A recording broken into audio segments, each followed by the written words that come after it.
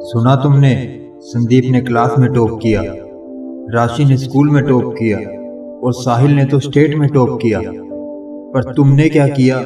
सात सात घंटे स्कूल में पढ़ना, फिर चार चार घंटे ट्यूशंस पर पढ़ना, फिर घर आने के बाद भी घंटों तक पढ़ना, पर नतीजा क्या निकला? Results, average marks. क्यों इतना पढ़ने के बाद भी? आपका नाम नहीं है इन टॉपर्स की लिस्ट में। इतना पढ़ने के बाद भी मिला क्या आपको? बस घर वालों के ताने और फ्रेंड्स के बीच में इंसल्ट तुम स्कूल पढ़ने जाते हो, या बस टाइम पास करने, मस्ती करने? तेरे बस की नहीं है पढ़ाई।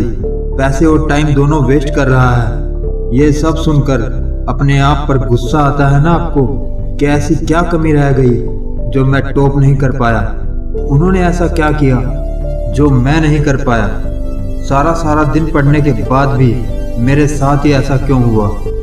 तो आज की इस वीडियो में हम बात करेंगे ऐसी ही फाइव स्किल्स और एक टेक्निक के बारे में, जिसे अगर आप अपनी लाइफ में यूज़ करते हो तो आप भी अपना बेस्ट दे सकते हो।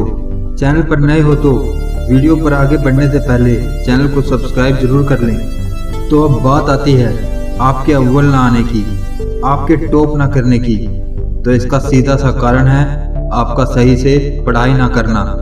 अब आप सोचेंगे कि आप तो 12-12 घंटे तक बस पढ़ाई करते हो, बाकी कुछ नहीं करते। तो दोस्त, आप पढ़ाई नहीं कर रहे, आप बस रट्टा मार रहे हो। बस रटे जा रहे हो उन क्वेश्चंस को, जो कल आपके टेस्ट या एग्ज़ाम्स में आएँगे। तो इसे पढ़ना नहीं, रटना कहते हैं। और ऐसे रट कर तो आप टॉप नहीं करने वाले।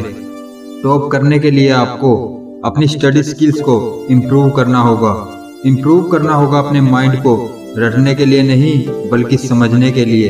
तो सबसे पहले skill number one read short but read properly किसी भी सब्जेक्ट या लेसन को रटने से अच्छा है कि कि आप उसमें से इम्पोर्टेंट पार्ट को इम्पोर्टेंट क्वेश्चंस को अलग से टिक मार्क कर लें और फिर उन्हें अच्छे से तैयार करें। ऐसा करने से आपको बस आधा ही पढ़ना पड़ेगा और आपका टाइम भी कम लगेगा याद करने में।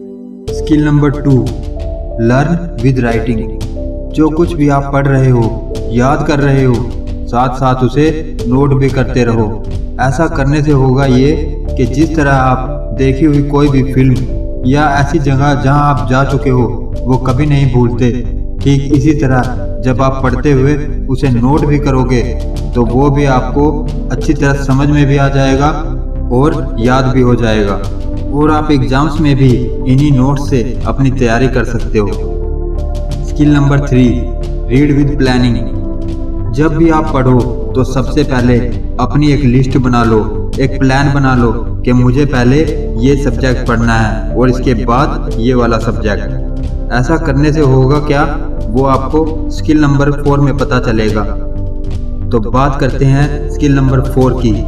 Avoid distraction and pressure of your mind जब भी आप पढ़ने के लिए बैठो, सभी सब्जेक्ट्स की बुक को लेकर मत बैठो, क्योंकि पढ़ते टाइम जब सभी बुक्स आपके सामने होंगी तो आपका माइंड उन बुक्स को देखकर डिस्ट्रैक्ट होता रहेगा और आपके माइंड पर प्रेशर भी बना रहेगा कि अभी तो इन बुक्स को भी पढ़ना है और आप जो सब्जेक्ट पढ़ रहे होगे, उस पर कंसंट्रेट नहीं कर पाओगे, अच्छे से फोकस नहीं कर पाओगे।